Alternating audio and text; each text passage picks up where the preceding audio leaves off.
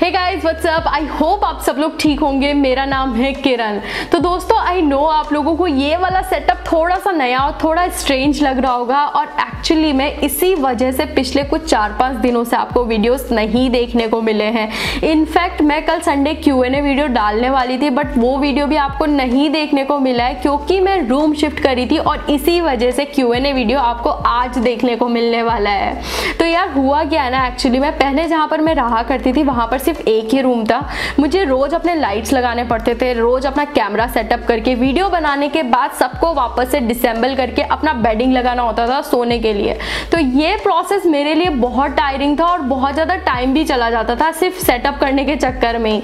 तो finally finally मैं एक ऐसी जगह पे शिफ्ट हो गई हूँ जहाँ पर दो रूम्स है, जिसमें से एक रूम को मैं प्रॉपर एक स्टूडियो में कन्वर्ट कर सकती हूँ। मतलब यही वाला रूम है जो एक स्टूडियो में कन्वर्ट होने वाला है। बट अभी फ़िलहाल के लिए मैंने इसको कुछ नहीं किया। आपको सिंपल रूम देखने को मिल रहा है और शायद आने वाले कुछ चार पाँच वीडियो में आपको यही नॉर्मल बैकग्राउंड देखने को मिलेगा। बट बहुत ही जल्द ये वाला जो रूम है, वो एक स्टूडियो में कन्वर्ट हो जाएगा। बट एनी इन सब चीज़ों के बारे में बाद में बात करेंगे। अभी शुरू करते हैं हमारा क्यू एन ए वीडियो तो अब रूपा रामावत ने यहाँ पर पूछा है, ये स्क्रीन ब्लीडिंग क्या है? तो एक्चुअली मैं स्क्रीन ब्लीडिंग एक्सप्लेन करने से पहले मैं आपको एक छोटी सी चीज़ बता देना चाहूँगी कि जितने भी एलसीडी पैनल या फिर एलसीडी डिस्प्ले वाले स्मार्टफ़ोन होते हैं ना, उन्हीं में स्क्रीन ब्लीडिंग का इशू हम लोगों को देखने को मिल सकता है।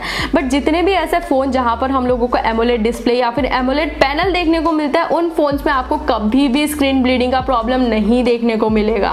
तो स्क्रीन ब्लीडिंग को अगर मैं आपको अपने फ़ोन से एक्सप्लेन करूँ तो अभी मेरे पास रेडमी नोट सेवन प्रो है। और इस फ़ोन में जो डिस्प्ले यूज़ हुई है ना, वो है IPS LCD डिस्प्ले मतलब यहाँ पर LCD पैनल लगा हुआ है। तो एक्चुअली में होता क्या है, इस LCD पैनल के पीछे, इस LCD को लाइट देने के पीछे ना, यहाँ पर एक बैक लाइट लगा होता है पीछे की ओर। इसी वजह से ये हमारा जो एल डिस्प्ले ये लाइट अप होता है, इसमें पावर आता है। तो होता क्या है, वो जो बैक लाइट लगा होता है, अगर फ़ोन को मैन्युफैक्चर करते वक्त, इस फ़ोन को अगर प्रॉपर तरीके से पैक नहीं किया गया मतलब यहाँ पर अगर प्रॉपर तरीके से पैकेजिंग नहीं हुई है इस फ़ोन को तो यहाँ पर आपको जो बैक लाइट है ना, वो यहाँ पर साइड की स्क्रीन में आपको अलग से देखने को मिल जाएगी, क्योंकि वो प्रॉपर तरीके से बैक नहीं हुई है हल्का फुल्का वहाँ पर गैप आ गया है तो वो लाइट अलग से ऊपर की तरफ़ निकल के आपको ऊपर वाले डिस्प्ले में यहाँ पर हल्की फुल्की लाइट देखने को मिल जाएगी। तो ऊपर डिस्प्ले में देखने को मिल सकती है, यहाँ पर यहाँ पर यहाँ पर यहाँ पर आपको कहीं पर भी लाइट देखने को मिल सकती है। जो एक्स्ट्रा अलग से लाइट आती है, उसको बोला जाता है स्क्रीन ब्लीडिंग और ये जनरली मैन्युफैक्चरिंग डिफेक्ट ही आप लोगों को देखने को मिलेगा,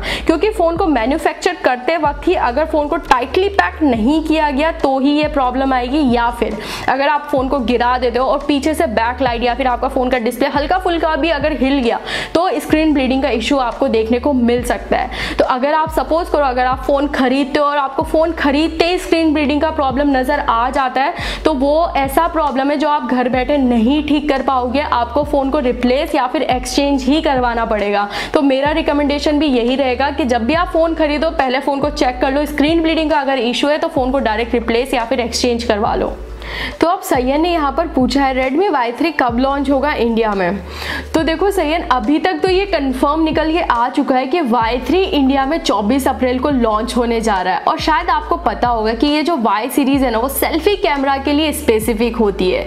तो ये अभी तक निकल के आया है कि इस फ़ोन में हम लोगों को थर्टी मेगापिक्सल का सेल्फी कैमरा देखने को मिलने वाला है। साथ ही कंपनी ने ये भी टीज किया है कि इस फ़ोन में हम लोगों को कुछ बड़ी बैटरी देखने को मिलने वाली है। तो मेरे अकॉर्डिंग तो चार 4000 एम तक की बैटरी देखने को मिलेगी। बट अभी देखते हैं लॉन्च इवेंट में कि क्या बैटरी निकल के आती है। बाकी इसके अलावा अगर इस फ़ोन की कुछ और चीज़ें कन्फर्म बाहर निकल के आती है तो उसके ऊपर मैं एक डेडिकेटेड वीडियो बना दूँगी जो आपको इसी चैनल पर देखने को मिल जाएगी। तो अब डेमीगोड जेटी ने यहाँ पर पूछा है फ्लिपकार्ट पर नेक्स्ट सेल कब आएगी, जिसमें डिस्काउंट एंड बैंक ऑफर्स होंगे। अभी फ़िलहाल तो फ्लिपकार्ट पर कोई भी सेल वगैरह नहीं चल रही है बट जब भी अमेजोन और फ्लिपकार्ट पर कोई भी सेल आती है ना तो मैं अपने इंस्टाग्राम पर आप लोगों को नोटिफाई कर देती हूँ अपने स्टोरीज़ के थ्रू इनफैक्ट अगर कोई बहुत ही अच्छा डिस्काउंट और डील चला होता है तो मैं उसको भी, उसकी लिस्ट स्पेसिफाई करती हूँ अपनी इंस्टाग्राम स्टोरीज़ पर। तो उसके लिए आप मुझे इंस्टाग्राम पर ज़रूर से फॉलो कर लीजिए। इंस्टाग्राम का लिंक आप लोगों को नीचे नीचे डिस्क्रिप्शन में देखने को मिल जाएगा। फॉलो करने के बाद मेरी स्टोरीज को ज़रूर चेकआउट करिए। वहाँ पर आपको सारे सेल और जितनी भी बेस्ट डील्स चल रही होंगी, वो सब भी आपको देखने को मिल जाएँगी। तो अब इमरान अली ने यहाँ पर पूछा है, मी ए थ्री में इन डिस्प्ले फिंगरप्रिंट सेंसर होगा या फिर नहीं? तो देखो इमरान, मी ए थ्री के बारे में अभी तक जितना कुछ भी निकल के आया है ना, उसके अकॉर्डिंग तो इस फ़ोन में हम लोगों को इन डिस्प्ले फिंगरप्रिंट सेंसर देखने को मिल जाएगा। बट यार, ये जितने भी लीक्स वगैरह और ये जो भी कुछ निकल के आता है ना, वो हंड्रेड परसेंट ट्रू भी नहीं होता है। बट जो कुछ भी अभी तक इस फ़ोन के बारे में निकल के आया है, उसके अकॉर्डिंग तो इस फ़ोन में हम लोगों को इन डिस्प्ले फिंगरप्रिंट सेंसर देखने को मिलना चाहिए। बाकी इसके अलावा अगर आपको और भी स्पेसिफिकेशन वगैरह जानने हैं मी ए थ्री के बारे में तो मैंने ऑलरेडी एक डेडिकेटेड वीडियो बनाया हुआ है। आई बटन में दे दूँगी, उसको भी आप चेकआउट कर सकते हो। तो अब टेक सौरभ ने यहाँ पर पूछा है sis how are you I am good हमें आपके चैनल पर Realme 3 Pro की अनबॉक्सिंग कब तक देखने को मिलेगी? यार देखो कंपनीज़ तो अभी तक मुझे ऐसे रिव्यू यूनिट नहीं भेजती है तो जब भी Realme 3 Pro लॉन्च होने के बाद उसका फ़र्स्ट सेल आ जाएगा तो मैं ये फ़ोन खरीद लूँगी। और उसके बाद आपको इस फ़ोन की अनबॉक्सिंग वीडियो कंपेरिजन वीडियो या फिर जो भी आपको जिसकी भी डिमांड होगी, वो सारे वीडियोज़ इस चैनल पर देखने को मिल जाएँगे। तो अभी देखते हैं कि इस फ़ोन का फ़र्स्ट सेल कब आता है?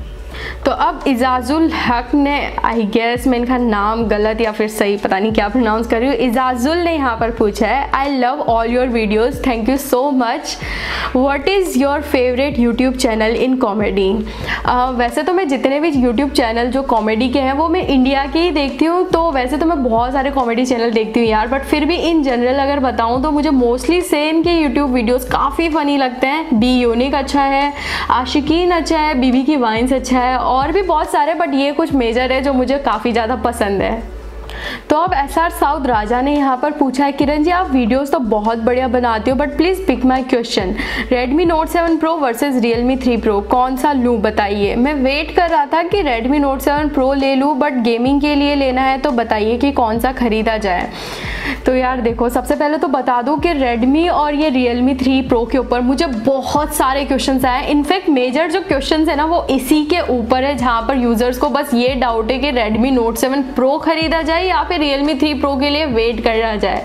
तो यार, Realme 3 Pro अभी 22 अप्रैल को लॉन्च होने वाला है तो बेटर होगा कि आप Realme 3 Pro के लिए वेट कर लो ताकि आप बाद में अच्छे से डिसाइड कर पाओ कि आपको Redmi Note 7 Pro खरीदना है या फिर Realme 3 Pro की तरफ़ जाना है। और अभी जहाँ तक बात रही कि गेमिंग के लिए आपको इन दोनों में से कौन सा फ़ोन खरीदना चाहिए तो यार मेरे एडवाइस यही रहेगी कि आपको Realme 3 Pro में गेमिंग एक्सपीरियंस थोड़ा सा बेटर देखने को मिलेगा, क्योंकि Realme 3 Pro के अंदर स्नैपड्रैगन 700 110 प्रोसेसर यूज़ हुआ है, जो कि गेमिंग के लिए थोड़ा बेटर है स्नैपड्रैगन 675 से। तो डेफिनेटली जो गेमिंग एक्सपीरियंस है, वो ज़्यादा बेटर देखने को मिल जाएगा रियलमी थ्री प्रो के अंदर। तो अब संजय, थुबे ने यहाँ पर पूछा, मैम, क्या मी ए टू लेना सही होगा? आ, देखो संजय आज की तारीख में अगर आप मी ए टू लेने का सोच रहे हो ना तो मैं तो आपको रिकमेंड नहीं करूँगी। भले ही ये फ़ोन आपको बारह हज़ार में मिल रहा है काफ़ी अच्छा डील आपको लग सकता है बट यार मैं रिकमेंड नहीं करूँगी क्योंकि एक तो काफ़ी पुराने तरीके का मॉडल लग रहा है और वो भी आज के टाइम पर मी ए टू बिल्कुल भी नहीं। इनफैक्ट अभी तो मी ए थ्री आने वाला है। आप हो सके तो मी ए थ्री के लिए वेट कर सकते हो या फिर इसके अलावा भी काफ़ी अच्छे मार्केट में स्मार्टफ़ोन है आप उनको भी एक बार चेकआउट कर सकते हो।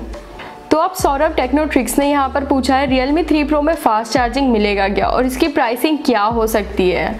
हाँ सौरभ, Realme 3 Pro में हम लोगों को डेफिनेटली फास्ट चार्जिंग देखने को मिल जाएगा। प्लस साथ ही में ऐसा भी सुनने में आ रहा है कि इस फ़ोन में हम लोगों को फास्ट चार्जर बॉक्स में ही देखने को मिलेगा। तो ये एक प्लस पॉइंट है।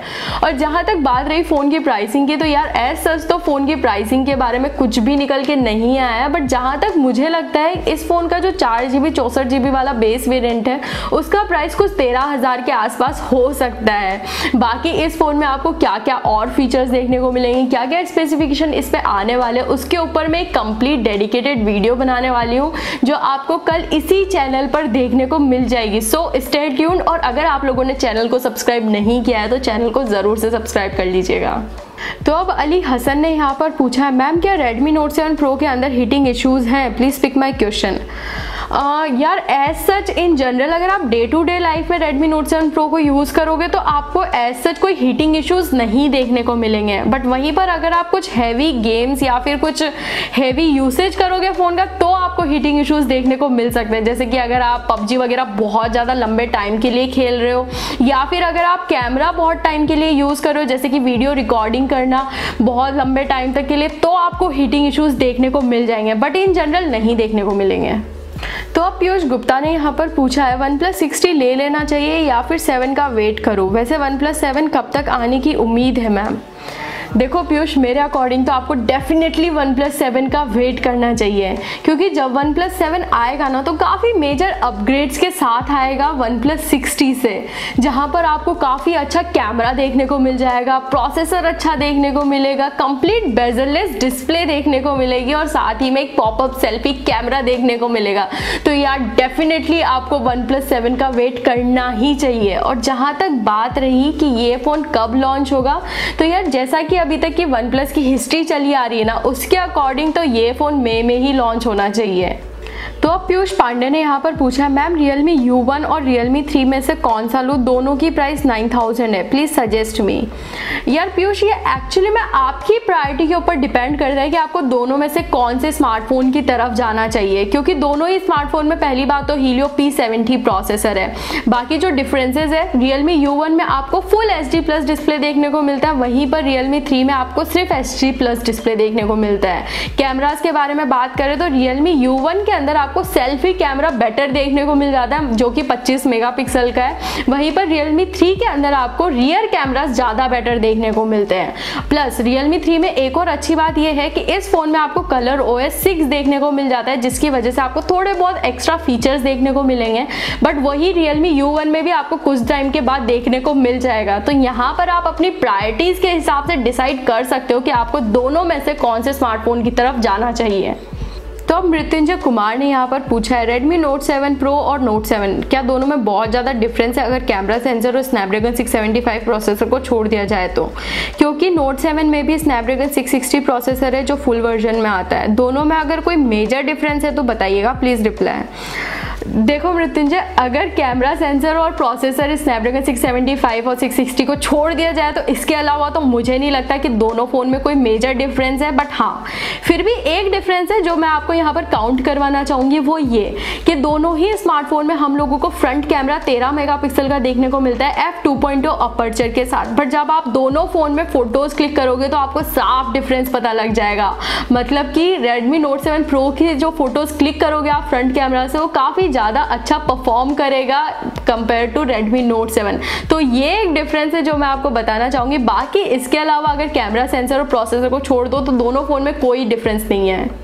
तो अब Indian tube by Himanshu Sen ने यहाँ पर पूछा है रेडमी नोट सेवन प्रो या फिर Galaxy M thirty Redmi Note seven Pro क्योंकि अगर आपको गैलेक्सी एम थर्टी अगर इम्प्रेस कर रहा है ना यार तो इसके पीछे कहीं ना कहीं सिर्फ़ तीन ही रीज़न हो सकते हैं। पहला, इस फ़ोन में एमोलेट डिस्प्ले देखने को मिलता है। दूसरा, पाँच हज़ार एम की बैटरी और तीसरा सैमसंग का ब्रांड वैल्यू इसके अलावा मुझे नहीं लगता कि एम थर्टी में और कुछ है जो आपको इम्प्रेस कर सकता है।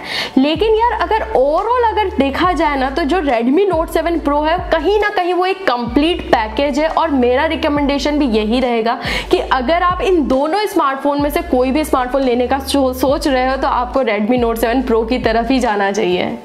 तो अब अब्दुल अज़ीज़ ने यहाँ पर पूछा है Nokia X seventy one should I wait और buy Redmi Note seven Pro देखो अब्दुल, मेरे अकॉर्डिंग तो आपको रेडमी नोट सेवन प्रो ही खरीद लेना चाहिए, क्योंकि जहाँ तक बात रही नोकिया एक्स सेवेंटी वन की, ये फ़ोन ऑलरेडी ताइवान में लॉन्च हो चुका है और इस फ़ोन का प्राइस वहाँ पर रखा गया है छब्बीस हज़ार रुपये तो मेरे को जहाँ तक लगता है ना कि ये फ़ोन इंडिया में जब आएगा, तब भी ओवर प्राइज ही रहने वाला है। मतलब मुझे नहीं लगता इस फ़ोन का प्राइस कुछ खास कम होने वाला है। वैसे नो डाउट फ़ोन फ़ोन तो काफ़ी अच्छा है। इसमें आपको 48 मेगापिक्सल के साथ पीछे की ओर ट्रिपल रियर कैमरा सेटअप है सिक्स स्नैपड्रैगन 660 प्रोसेसर सारे फीचर्स अच्छे हैं बट यार प्राइस पॉइंट को अगर देखा जाए तो काफ़ी ओवर प्राइस साउंड कर रहा है। वैसे भी नोकिया के कुछ डिवाइसेस को छोड़ के अभी तक जितने भी नोकिया ने फ़ोन लॉन्च किए हैं ना, काफ़ी ओवर प्राइज ही रखे गए हैं। तो मुझे नहीं लगता इस फ़ोन का प्राइस भी इंडिया में कम होने वाला है। तो मेरा एडवाइस तो यही रहेगा कि आप रेडमी नोट सेवन प्रो खरीद लो या फिर हो सके तो रियलमी थ्री प्रो का वेट कर लो। तो दोस्तों, बस आज के लिए इतना ही। आई होप आप लोगों को ये वीडियो पसंद आया होगा। अगर वीडियो पसंद आया तो इस वीडियो को लाइक ज़रूर करिएगा। और ऐसे इंटरेस्टिंग वीडियोस मैं आप लोगों के लिए लाती रहूँगी तो चैनल को सब्सक्राइब करना मत भूलिएगा।